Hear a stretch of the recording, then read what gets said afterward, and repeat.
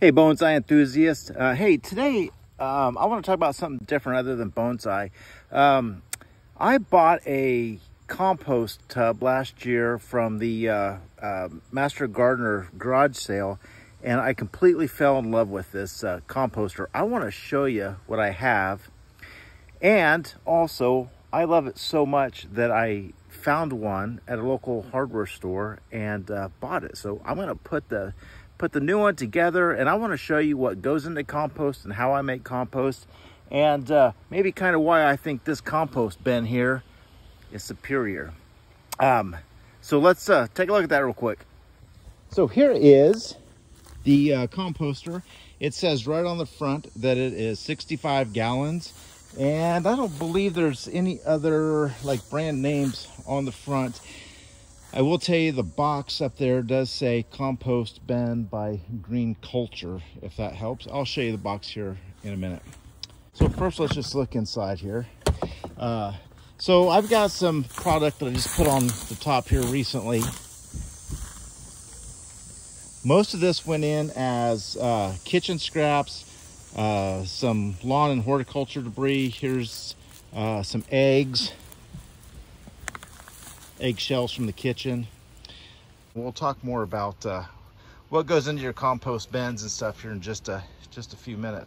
I like this a lot. It's got some got some vents in here to aerate, and I haven't used this feature yet. But uh, if a person wanted to use some finished compost, you can get some compost out of the bottom here, or if you find some stuff that's not composted enough yet, you can just simply add it back to the top and let it start through the process again. What I'll probably do with this uh, today is I'm going to lift the barrel off there and just shovel everything right back into it.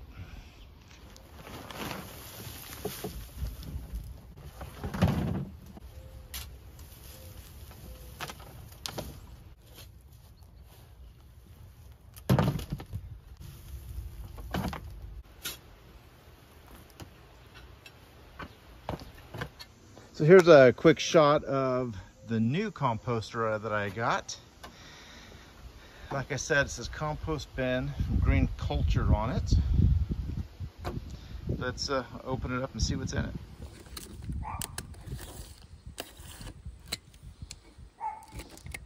Okay, I got it out of the box and it appears that this is gonna be so simple to put together. Just line those holes up.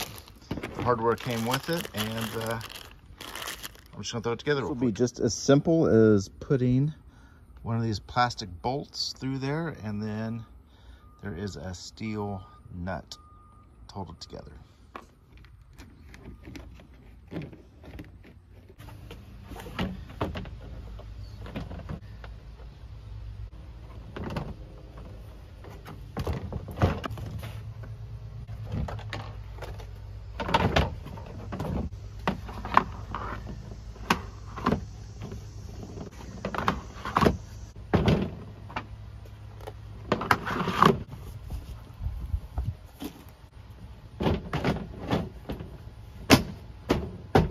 Look at that, it only took me just a couple, a uh, couple minutes, a few minutes to uh, put it together.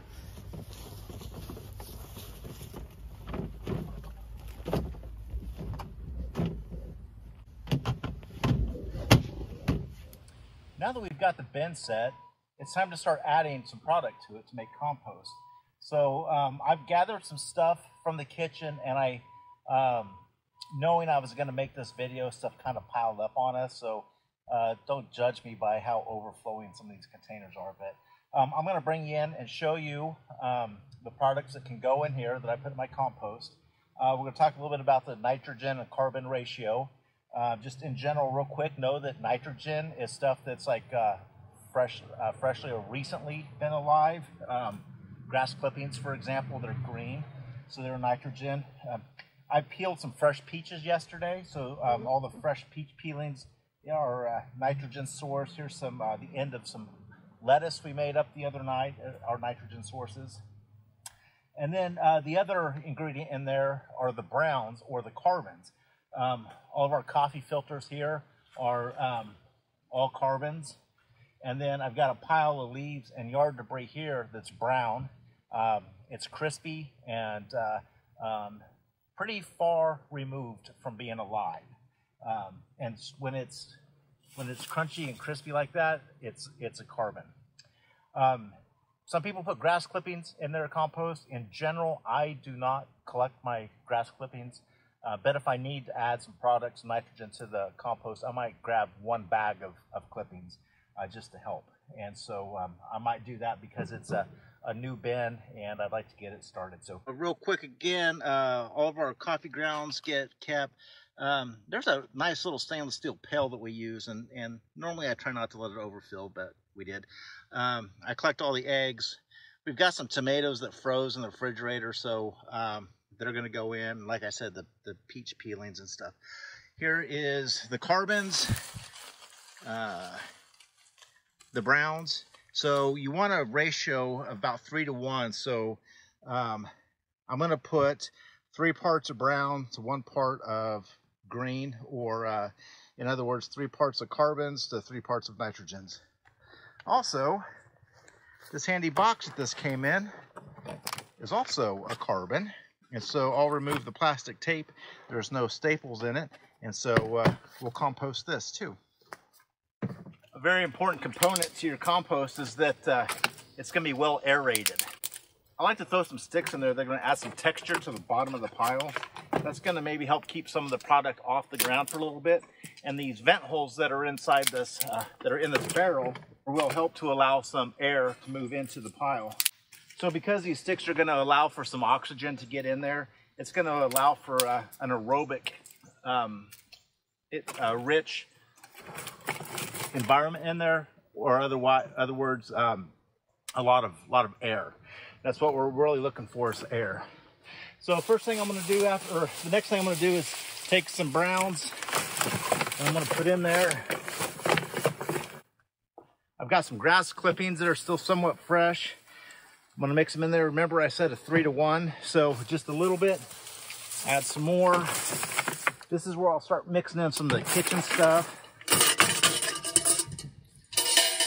The other thing is, if you can break things down a little bit, it'd go faster. So I normally take these cartons, and that's if I'm gonna compost them. Our local recycler will take them and collect them and pass them out to uh, people who might have chickens that need uh, egg storage. A little more browns. More kitchen scraps. Here's those uh, peaches. Put those in there. Now that I've got uh, one layer in there of stuff, moisture inside your bin is extremely important. So I'm gonna add some water. The ideal amount of water is that your compost will kind of feel uh, like a very well wrung out sponge. But to get things started, I like to I like to get a lot of water in there. So let's get some more greens in there. Here's that uh, lettuce from the kitchen. More coffee grounds with a cucumber and some tomatoes. Another sprinkling of grass clippings. The other thing I didn't mention, shredded paper. That's a carbon right there. So we'll sprinkle that in. I want to make sure with the shredded paper that I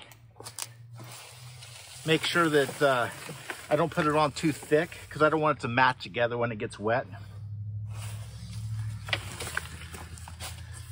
So when these carbons start breaking down,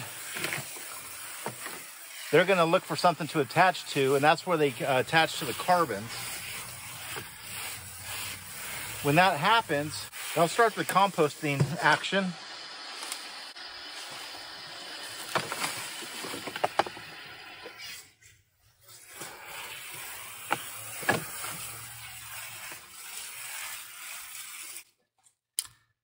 Again, these are these are real brittle and hollow, but uh, to start out with. They're going to help uh, keep all that product open so it can uh, so it can start the process.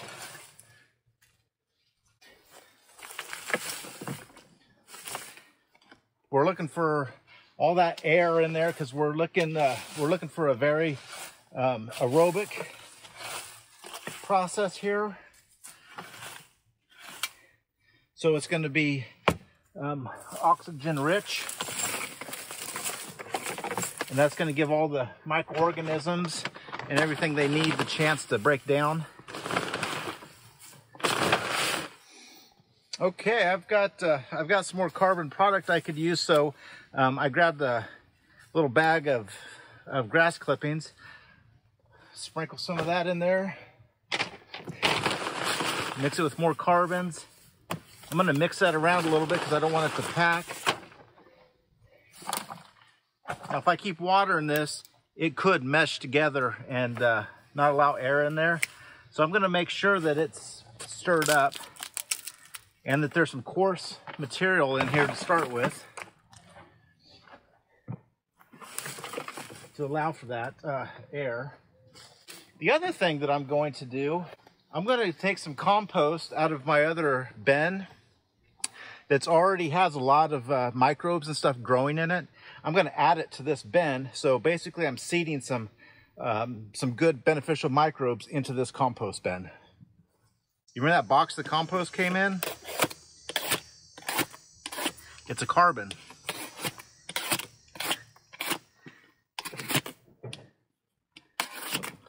So instead of hauling this all the way across town to the com or to the recycle facility, I'll just compost it here.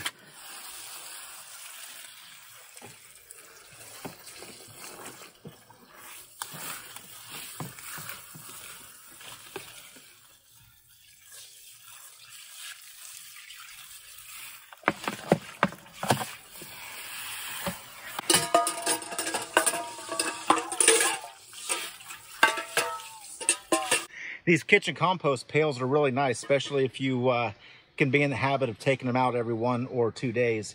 Um, they have a nice lid on them with the charcoal filter. If I can find uh, this particular bin, I'll, I'll, put a link to it on the uh, in the descriptions. Also, um, I'll put a link to this compost bin in the descriptions also.